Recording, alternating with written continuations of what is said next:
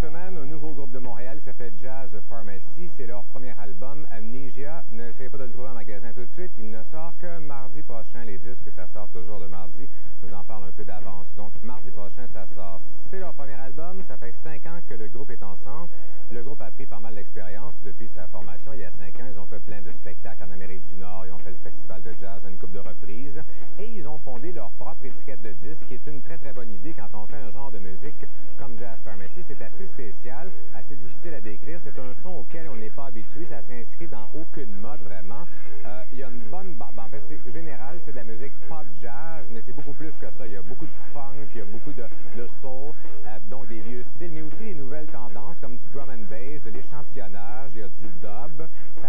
Penser, lorsqu'ils chantent, un peu à Steely Dan, qui est un très bon groupe, Steely Dan, quand même. On aime pas, mais au niveau des voix, c'est vraiment très top au niveau Steely Dan, dans le style pop jazz.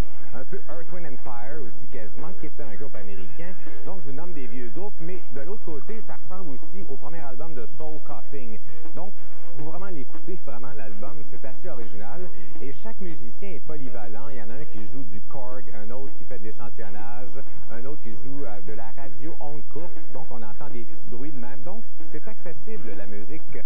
Jasper Messi, mais il y a toujours un petit côté tordu. C'est mi-chanté, mi-instrumental aussi. Il y a des pièces vraiment flyées.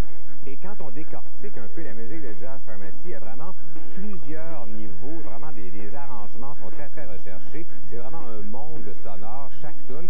Et c'est un album qui a été fait par des musiciens qui ont une très bonne culture de la musique internationale, je crois. Que ça, c'est un album international, ça ne fait pas québécois, ni canadien, ni américain, ni rien. C'est de la bonne musique, 1.5.